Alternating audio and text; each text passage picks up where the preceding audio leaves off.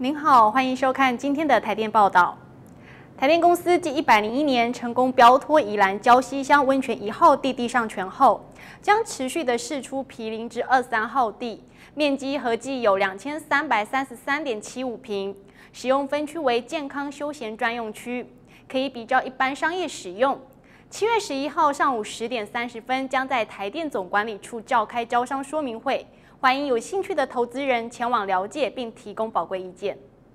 关于核一厂一号机在一百零二年六月二十八号晚上的急停状况，经过求证，台电相关单位说明如下：我们当时在测试机组大修刚结束，那么按照程序，设备在大修期间经过检修，检修完了之后呢，一定要做层层的测试跟验证的工作。所以在测试验证当下，就发现了这个旁通法主气机旁通法有异常的动作现象，所以我们一定要把噪音厘清，然后去解决。那么我们就在检查的过程当中呢，维护人员呢，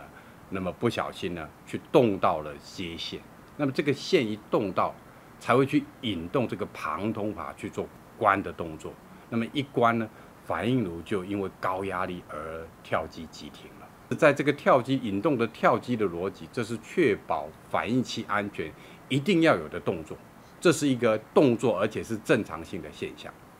而对于中国时报在七月四号的相关报道，台电也做出了郑重的澄清。我想简单的说哈，在今天中国时报刊登一一则哈对台电公司非常错误的报道，它的标题叫做“合一菜鸟运转员显酿核能危机”啊，这件事情我们非常不能接受。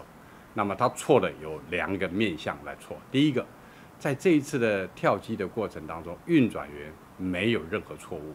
运转员完全是按照技术操作规程进行操作。好，那么再来，他说我们运转员的这一个经验不足，啊，过度紧张，那么这个就手忙脚乱，这跟事实也完全不符合的，我们没办法接受。这第一点。第二点。有关于这个反应炉的脆化、脆裂啊，那么事实上在整个跳机过程也没有发生这种现象，所以我觉得太耸动。